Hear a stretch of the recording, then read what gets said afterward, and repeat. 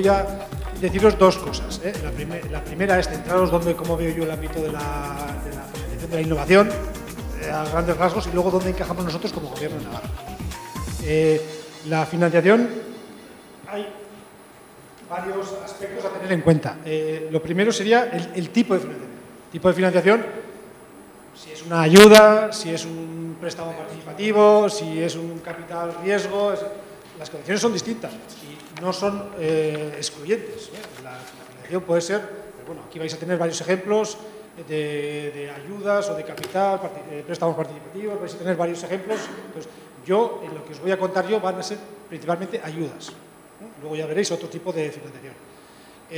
ayudas, un palabro, yo más, que ayudas, yo querría decir que nosotros como Gobierno de Navarra, o por lo menos yo como me veo a mí mismo, es nosotros no ayudamos, nosotros creo que, lo que queremos hacer es invertir. O sea, al final nosotros disponemos de un dinero público que lo que tratamos de hacer es que coger ese dinero y rentabilizarlo, ponerlo en ciertos proyectos que al final, ¿qué? esos proyectos que tienen que hacer, tienen que, crecer, que generar beneficios, que hacer religiosamente el 26 de julio de cada año el impuesto de sociedades, de contratar a gente y pagar seguridad social, que eso retorna en vuelta de ingresos. Al final hay que intentar ver yo me gustaría que, nosotros por lo menos lo vemos como invertir. Nosotros invertimos en dinero de todos, en lo que nuestra modesta opinión es lo que a veces acertaremos y a veces no, pero creemos e intentamos hacer eh, esa inversión. ¿Eh? Eso es lo primero. Luego, el palabra que se usa son ayudas o subvenciones. Entonces, yo os voy a hablar de, ese tipo de ayudas. Eh, ayudas y principalmente, dentro de las ayudas, pues hay tramos reembolsables y no reembolsables. Los nuestros generalmente son todos subvenciones a fondo perdido, necesitamos no reembolsables, así como luego tendréis en el CEDET y eh, información sobre tramos reembolsables, que, bueno, pues tramos reembolsables que son muy atractivos los, tipos de interés que dan, básicamente un libro pelado casi, o, sea, es súper interesante. Entonces eso, es, eso también son, ¿eh? si habláis con vuestros financieros, dirán, sí, sí, también prestamos de esos todos los que quieras. Entonces también son, son ayudas. Vale. El tipo, eh, otro tipo de, otro, otro, lo que tiene en cuenta la, financiación, además del tipo de financiación, es el objeto. ¿Para qué vas a utilizar la, puedes utilizar la financiación para proyectos de I+.D., para proyectos de innovación, que son distintos, las condiciones eh, eh, para proyectos de inversión, es decir, pues, ¿qué estoy haciendo? Más, riesgo, de más riesgo a menos. pues, generalmente se, se, da más ayuda pues, a cuanto más riesgo hay, se, la intensidad, pues bueno, los proyectos de I+.D. tienen un tratamiento distinto que los de innovación, están más cerca del mercado, ya empiezas a probar las cosas a nivel productivo y luego ya los de inversiones decir, no, no, estoy haciendo esto porque voy a facturar. Entonces, las condiciones van cambiando. ¿eh? Entonces, tenéis que ver qué tipo de financiación, cuál es el objeto y lo último es la, la fuente, la fuente de financiación. Pues, tenéis aquí varios ejemplos, ¿no? Fuentes de financiación regionales, nacionales, internacionales. Yo, otra cosa que también os quiero decir es que, bueno, Realmente lo que intentamos entre las administraciones, sobre todo de distintos rangos o de distintos, ¿no? de, distinto ámbito, ser un poco complementarios. Cuanto más alto apuntéis, pues mejor financiación vais a tener. Obviamente no es lo mismo una financiación de un proyecto mediante H2020 que un fondo regional. No es lo mismo la intensidad.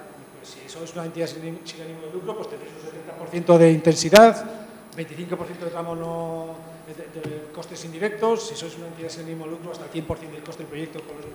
Son unas condiciones, vamos, y que nadie puede competir con eso. Pero claro, las tasas de éxito estamos hablando de, un dígito, ¿eh? de 2, 3, 5, depende de la convocatoria. O sea, que tienes que ser muy bueno y presentar un proyecto. No quiere decir que no sea de I más D, sino de la prueba. Quiere decir que hay mejores que el tuyo. Entonces, muy competitivo, muy buena financiación.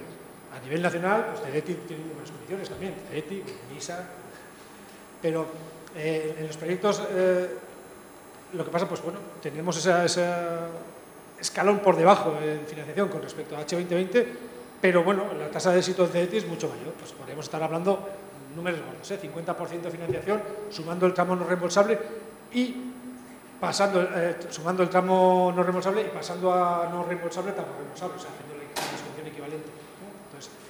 Entonces, estaríamos hablando de 40, 50, la tasa de éxito es no es, más baja que, más alta, bastante más alta que, H2020. Y luego tenemos la parte financiación regional. La financiación regional, pues las tasas de éxito están en 70, 80, las medias de financiación del campo responsable son 20, 20 y tantos, dependiendo del tamaño de empresa. Eh, entonces, es más fácil. Y lo que yo os animo es que, dependiendo del proyecto que tengáis y dependiendo de cómo estéis y consultando con, pues, con ciertos eh, expertos que pueden ser consultores, eh, administraciones o contactos que tengáis, pues que apuntéis lo más alto, lo más alto posible. Porque la mejor financiación, otra cosa es que seáis realistas, ¿eh? como un proyecto que no sirve para H2020 no presentéis H2020, porque que os digan 8 sobre 15, pues no, que seáis realistas y que apuntéis lo más alto posible. ¿Por qué? Porque la financiación es la, mayor. Entonces, ya todo esto puesto en este escenario, ahora os hablo de, de a nivel regional. Ayudas, ayudas regionales y, ayudas regionales a proyectos de I+.D. y actividades de I+.D. y algunas de innovación. Para eso os he puesto esta página web, que es el link que tenemos dentro de, del Gobierno Navarra para todas las ayudas.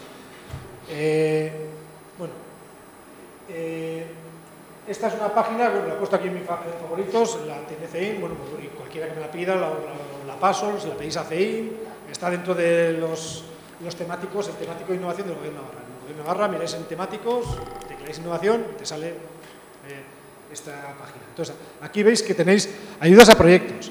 Esta convocatoria de ayudas a empresas que estoy ahora señalando, pues es la que se ha cerrado hace poco. Hemos cambiado este año pues, el chip con respecto a dos años que lleva cerrada, lo que hemos tratado desde abrir proyectos en concurrencia competitiva, se ha resuelto hace poco, eh, se han aprobado 180 proyectos, de 326 que se presentaron, 20 eran repetidos, 26 no... Roberto, y, y, Roberto, te quedan tres minutos. Vale. Bueno, proyectos de, de I D, esta es la convocatoria. El objetivo que tenemos es repetirlo el año que viene. Si, eh, bueno, ahora me meteré en una de las páginas para que veáis un poco qué estructura tiene. Entonces, eh, proyectos de I D, está resuelto, el año que viene sacaremos una nueva convocatoria. Estar atentos, final de año sacaremos convocatoria para 2016. Si no encaja vuestro proyecto, en convocatorias nacionales o, internacional, o internacionales. Eh, eh, fiscales. Nosotros, vuestras actividades eh, de I más D más I las calificamos, las calificamos y, tras, y, damos traslado a Hacienda, de manera que lo que nosotros eh, califiquemos, Hacienda lo acepta en vuestro impuesto de sociedades. ¿eh? llevamos desde el año pasado al día con, con, con, todos los expedientes, es decir, las actividades de 2014 las trataremos de resolver para julio de 2015, de manera que siempre mantengamos que vayáis a vuestro impuesto de, de, de, sociedades pues con las cosas al día. Que cuando tenéis alguna actividad que, que no ha sido calificada como I D, un proyecto I D, pero tenéis ciertas actividades que sí son, sí son I más D más I, os ayudamos de otra manera. Os ayudamos a que o contratéis personas o contratéis recursos de centros tecnológicos. Entonces aquí tenéis unas convocatorias que se llaman TEC o, sí, o, tech, o tecnólogos, que lo que intentamos con ellas es ayudaros a que contratéis ese, esas... Eh, entonces, podéis contratar un centro tecnológico para que haga parte del desarrollo de un proyecto y más de vuestro, si no tenéis vosotros las capacidades y os financiamos parte de ese trabajo, o también podéis contratar a una persona y os financiamos el coste de esa... Para que os hagáis una idea, en el de Bonos Tech, del total de la convocatoria, que está abierta permanentemente hasta final de, de presupuesto, pues estamos ya ahora a nivel de mayo pues en un 25% más o menos eh, cumplido. ¿eh? Tenemos ciento y algo mil, de 600.000, pues os animo a que sigáis. Es una abierta en la, de, en la de personas, en la de contratación de tecnólogos, no tenemos todo resuelto, pero con lo que, las solicitudes que tenemos estaremos ahora en torno a 500, 600.000 euros de millón y medio. Es decir, pues, bueno, también preveemos que haya antes de verano un, cierto incremento y luego otra vez en septiembre otro cierto incremento. Si tenéis ya muy claras las cosas, yo os animo a que lo hagáis cuanto antes a pedir esa persona.